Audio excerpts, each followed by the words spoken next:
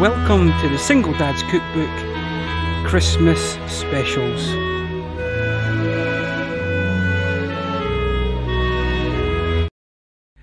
Welcome to the second episode in the Single Dad's Cookbook Christmas Specials. And in this episode, we're going to make chicken Wellington. So, this is my take on the traditional beef Wellington that can be um, adorn quite a few dinner tables on Christmas Day. And this is my my version of it um, using chicken breast. These can be done individually. You'll actually see that this this chicken, this would probably feed two people. Um, so again, if you're watching a budget but you want something fancy, a bit of a showstopper, um, and you can add extra bits to this. You could wrap it in bacon, which probably um, would be a good idea. It just gives it an extra hold. And again, you, you can take your time and make it way more fancier than what I do. Um, if this is your first time watching the video, or any of my videos, welcome to the channel. If you can, please hit that like button um, and subscribe. It means the world to me. So you can see here, I've just trimmed the chicken and I'm actually patting it down with a paper towel just to try and remove any excess moisture because it's going into pastry. Um, so give your give yourself a bit of a clean up and then what we're going to do is we're going to just fillet this um, open. Now you want it to remain in one part so as you're going if you just keep slicing it I am not a professional chef folks I don't claim to be um, I'm just a a single parent who likes to do a bit of cooking. So you can see there, I've butterflied it open and then what I'm going to do next is I'm going to flatten it just so it makes it a bit easier to, to roll. And again, I don't have fancy equipment. If you've got a meat mallet, use that.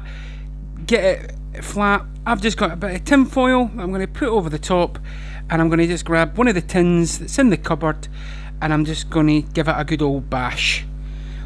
Again, this is cooking on the simplest of levels, okay?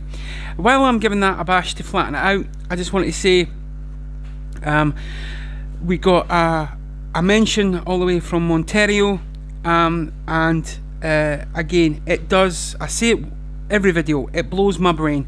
Honestly, it blows my mind that you guys are watching from all over the world and it means the world to me. So I've got these stuffing balls again shop bought nothing fancy you can if you want make your own and you can you can go to that um, extra little bit of hassle or pressure. I'm just using shop bought ones and I'm going to roll it right down the middle. Then I'm just going to fold it over and wrap it all up nice and easy make sure it's all wrapped. And at this point this is where you could wrap it in bacon. Um, and actually wrap it in bacon um, wrap it in cling foil make it more cylindrical. It probably would make be a good shout but I've not done that. Um, hindsight is a wonderful thing. What I am going to do though is I am just going to salt and pepper the top just to give it a little bit of flavour into there. Um, so as we do that and I hope you are all looking forward to Christmas. Um, this year is going to be a little bit weird right across the world I think with um, the price of things. And remember it's about spending time with people. It's it's not about who gets the biggest gift. Even if it's a little homemade box of chocolates or anything like that remember it's it's about the thought. It's always been about the thought. I, I think that gets lost in translation, especially nowadays, um, where it was always who wants the biggest, flashiest gift. And it, and trust me, if I could go back and sit with people that I've, I've passed, that's that's the times that you remember, not what they bought you. So just please remember that.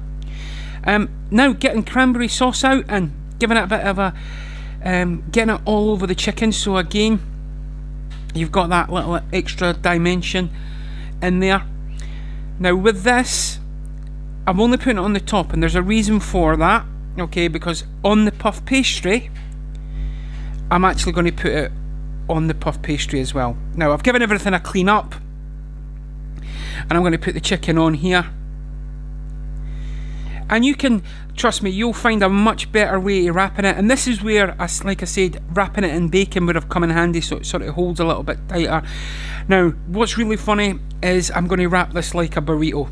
So, first thing I'm going to do is I'm going to tuck in both ends.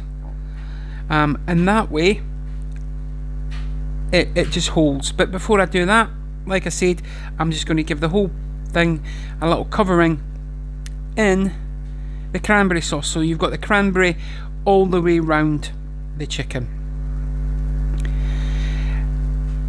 You do need to be careful of um, how wet you make the the insides of this because the chicken will obviously release juices um, so you can um, you've got to sort of compensate that as much as you can so here we go let's fold the top fold the bottom like a burrito like I said and then just wrap it round.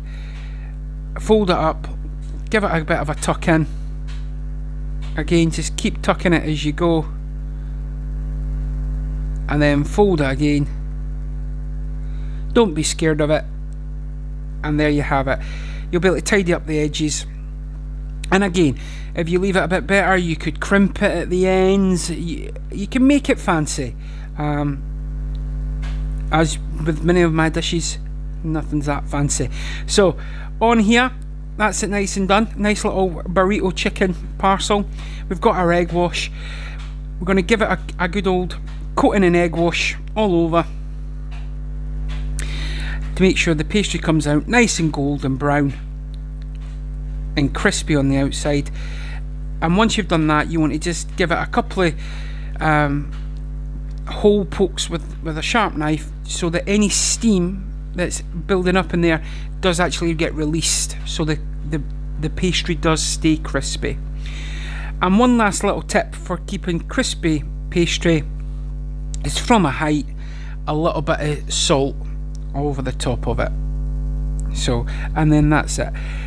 So like I said here we're going to give it a couple of holes just through the pastry just to make sure that any steam does get released. Folks this is um, I've got the oven on at 180 degrees um, Celsius. That's an uh, fan assisted oven. So you need to do that accordingly. Um, and I've cooked it for about 40 45 minutes. You've obviously got chicken in there you've got uh, a pork product in there. If you put the, uh, the bacon in you've got another pork product in there. So you've just got to be careful that you the last thing you want is um, to be a little bit ill on Christmas Day but you can see the heat coming out of that. The outside's nice and crispy. It's cooked to perfection. We're going to cut this bad boy open and show you what it looks like in the middle. But that is my chicken Wellington. Um, you guys will be able to make it way fancier than I do. But as a starting base, as something a bit different for Christmas, this is the starting point to go for. I really hope you are all looking after yourselves out there and each other. Um, I hope you're looking forward to Christmas. And like I say, remember, it's all about the thought, it's about you being there and being in the moment, not so much the gifts. From my family to yours, thanks for watching. Till the next time, Single Dad signing off.